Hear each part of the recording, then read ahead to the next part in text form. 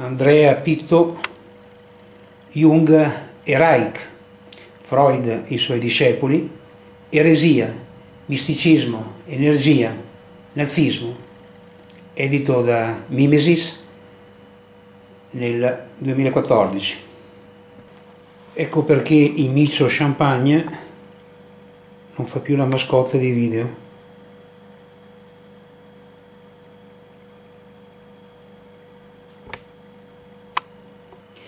Ecco la nota biografica dell'autore, Andrea Pitto, laureato in medicina, diploma quadriennale in agopuntura e tecniche affini, laurea in filosofia con indirizzo epistemologico e cognitivo, è ricercatore indipendente nei seguenti ambiti, filosofia della mente, della psicologia, della morale,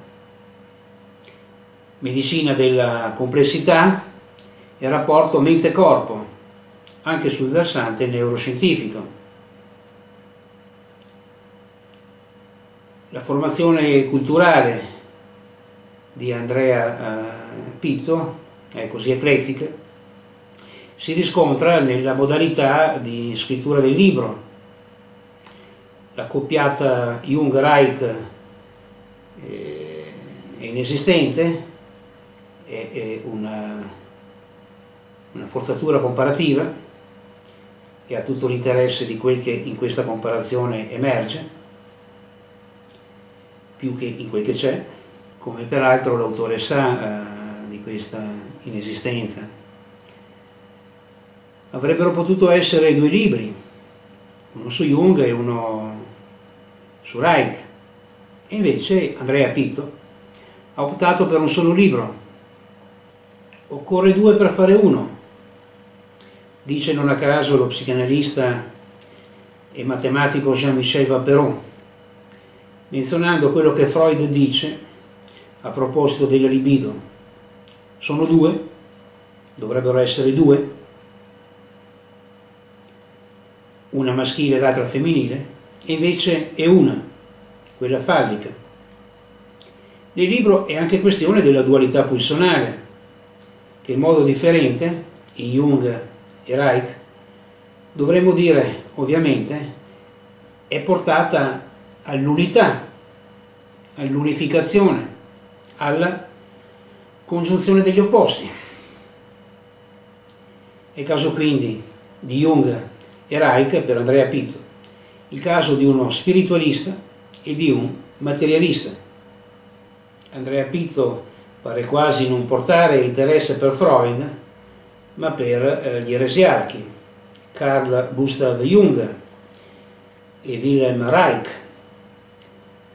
Anche nella parte del libro dedicata a Freud e ai suoi discepoli, si tratta solo dei suoi discepoli sismatici, più che esclusi di Freud è impossibile dire quale sia la lezione per Andrea Pitto, mentre con eh, Jung e Reich la lezione è quella di una conferma di un metodo onnicomprensivo che è anche frutto dell'ideologia italiana, che nella mentalità dell'autore sfocia in un quadro della situazione il più possibile bilanciato. La bilancia è un'ipotiposi della congiunzione degli opposti. Ecco un esempio del metodo di indagine in riferimento alla schizofrenia, nota 1 a pagina 165, in cui si rileva la formazione medico, filosofico, cognitivista, neuroscientifica dell'autore.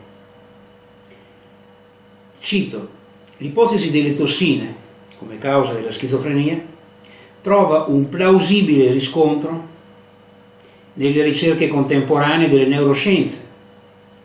I sintomi della schizofrenia, infatti, si ipotizza siano in rapporto con un'alterazione della trasmissione sinaptica dopaminergica La dopamina come principio tossico, dunque, anche se, secondo il neuroscienziato Eric Kandel, non vi è, tuttavia, alcuna prova diretta che l'eccessiva attività delle cellule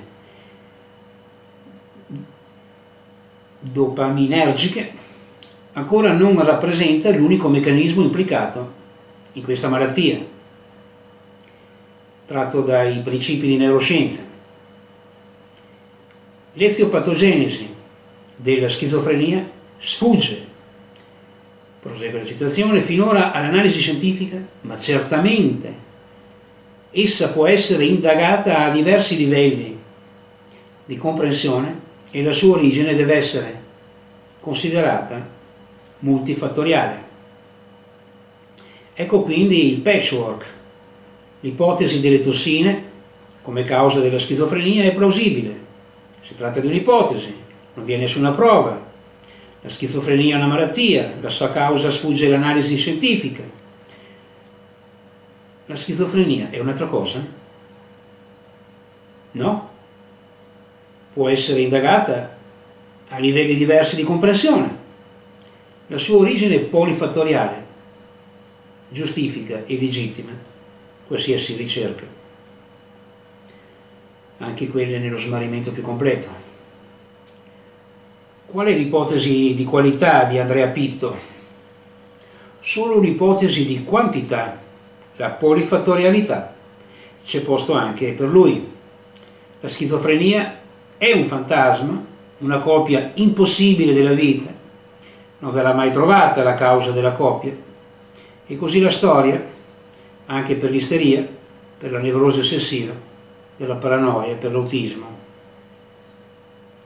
L'approccio di Andrea Pitto ai due autori è storicistico, bilanciato, includente e inconcludente, ovvero mai chiaro su una questione, come se lo storico non fosse toccato dalla materia della parola e dal suo stesso viaggio intellettuale, come il soggetto della scienza che non esiste per il discorso scientifico, di cui pare che ci sia solo l'oggetto di scientifico. Anche sul tema della complicità con il nazismo da parte di Jung, Andrea Pitto non giunge alla chiarezza D'accordo, il suo è più un erudito giornalismo psicanalitico, decisamente più interessante del giornalismo cinico, che scrive infiniti dossier contro Freud, ma potrebbe giungere, Andrea Pitto, alla cifra del caso, la sfiora più volte, eppure manca il tono dell'incontro, la verità come effetto. A partire dal 1933, ovvero dall'ascesa di Hitler, Jung è coinvolto nella direzione della Società Medica Generale per la Psicoterapia, che poi confluisce nel 1936 nell'Istituto Göring, che era l'istituto psicanalitico. E non menziona nell'introduzione che la detta società è eretta sulla chiusura di questo istituto psicanalitico di Berlino. Poi, nel capitolo sul nazismo, Andrea Pitto cita anche il lavoro dello storico Geoffrey Cox sulla psicoterapia sotto il Terzo Reich, ma non ne trae implicazioni. L'eliminazione dell'istituto freudiano, eliminazione dei testi freudiani, l'esclusione degli psicanalisti ebrei, eh, come possono non permettere di concludere sull'antisemitismo di Jung? Certo è un antisemitismo eh, altoborghese, ben pensante. Infatti conclude Pito che la vita di Jung è stata quella di un ben pensante svizzero, quello che non osa leggere Pitto, è il ben pensante svizzero rispetto alla questione della teologia politica, dell'accettazione delle gerarchie. E quindi non legge questo impianto gerarchico che sostiene questa definizione.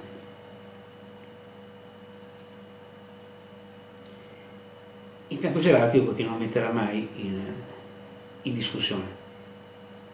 E non sappiamo perché e non cerchiamo neanche di indagare.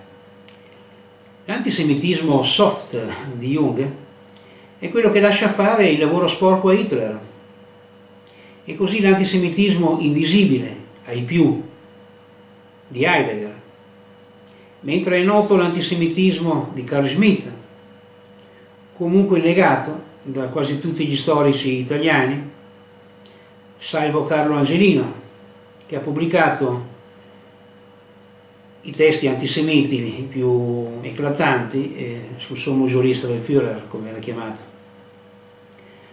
Anche nel caso dell'esperienza eh, di Jacques Lacan si avverte il disinteresse per la teoria e l'opera dello psicanalista francese.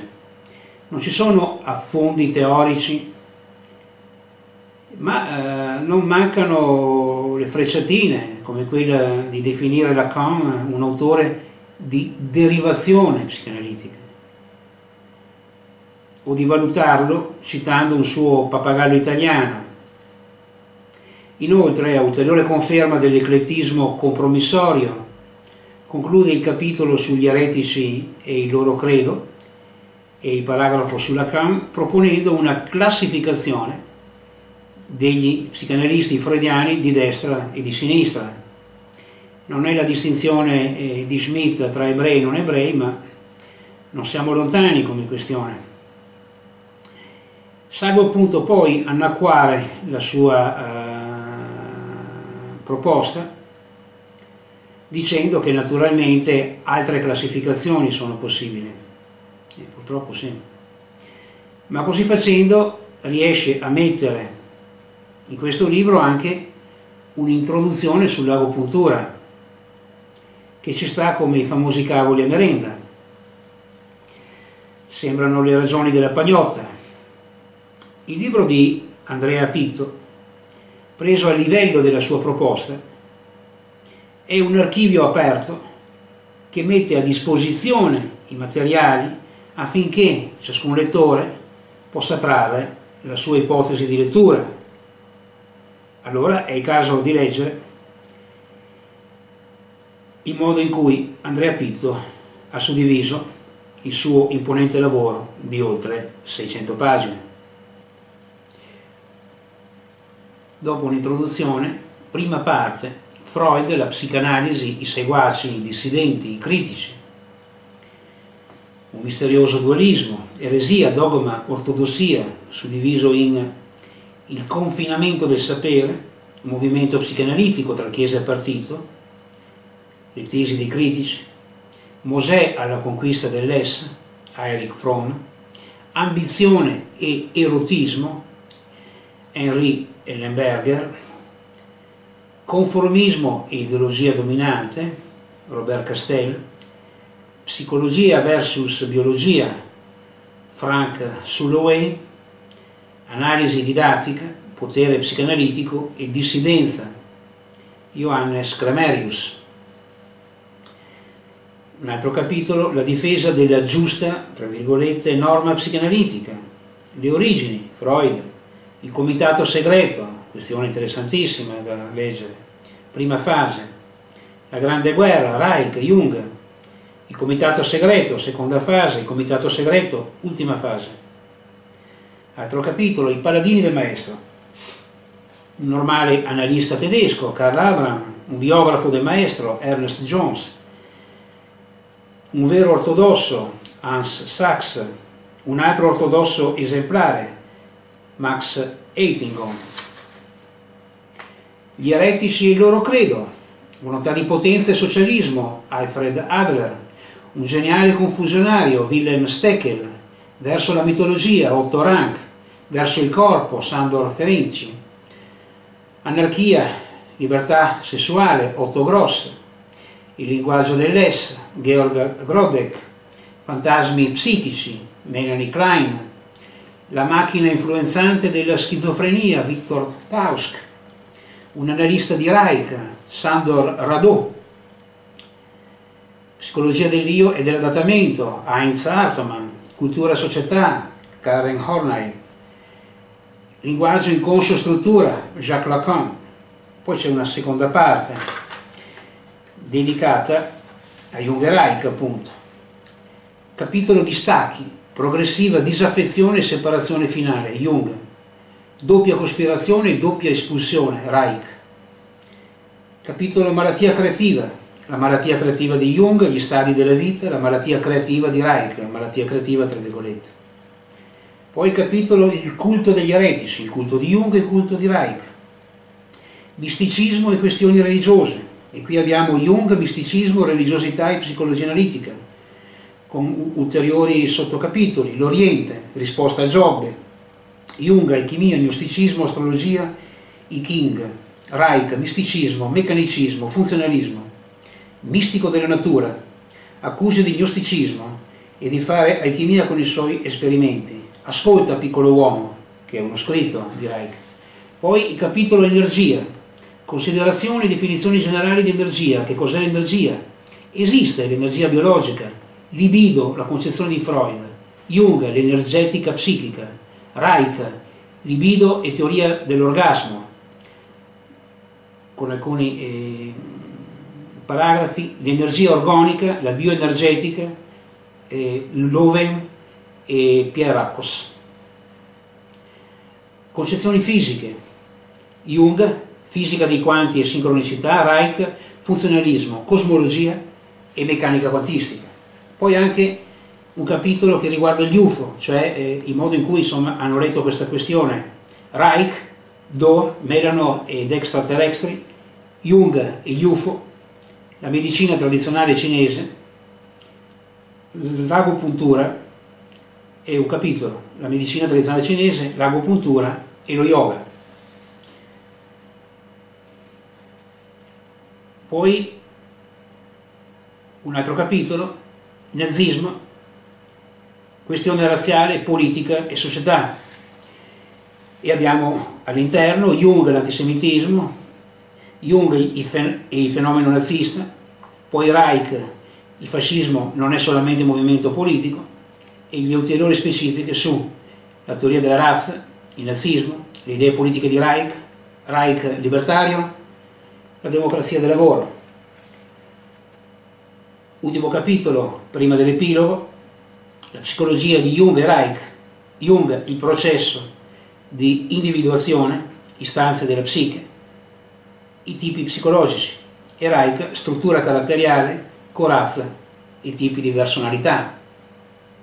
È chiaro che eh, semplicemente affrontare la questione eh, del processo, dell'individuazione, del processo di individuazione, di che cosa sia un'istanza della psiche e la tipologia junghiana per esempio, no? tipi psicologici rispetto a altre nozioni di tipo, dalla tipografia a, ai cifratipi e ai monotipi, sono articoli se non libri infiniti da leggere. Il volume ha la bibliografia a pagina 645. C'è l'interesse a, a leggere parzialmente a rileggere gli autori che cita, questo sì, no? e, e, e, le questioni in ciascun, in ciascun libro. È una, una al, al, di là del, dell'approccio eh, ideologico, ma qui è più mentalistico letteralmente, più che ideologico, e noi abbiamo tratto da questo libro le infinite questioni che non abbiamo ancora elaborato e che talvolta possono anche giungere a scriversi, come il caso di Victor Tausk, e che rimanda anche al libro dello storico eh, Paul eh, Roazen, se inglese è un Paul, Paul Roazen, eh, nel libro appunto Fratello Animale. Qual è lo scopo dell'opera eh, di Andrea Pitto? In altri termini, in questo libro scrive ho inteso illustrare gli argomenti menzionati, eresia, misticismo, energia, nazismo, eccetera, traendo spunti dal pensiero e dalle vicende esistenziali di Wilhelm Reich e di Carl Gustav Jung. In questa sottomissione, trattino, sottomissione di illustratore e di trattore esistenziale, nel senso in cui lo, lo diciamo in uh, francese la parola trattore esiste come in italiano esiste quella di trattoria, il libro è riuscito. Andrea Pito ammette di avere sempre avuto, tra l'altro, maggiore interesse per Reich. Chi legge il libro se ne accorge. E se qualcuno leggendo questo libro avvia una lettura di anche uno solo degli psicanalisti menzionati, allora c'è anche una riuscita intellettuale, al di là delle nostre annotazioni che divergono dall'itinerario dell'autore, Andrea Pitto. Ciascun libro non è positivo o negativo, ciascun libro è da leggere ed è quello che eh, abbiamo fatto oh, leggendo oh, ciascuna eh, di queste oltre 600 pagine e leggendo anche tutte le note a piedi pagina. Come certuni da fastidio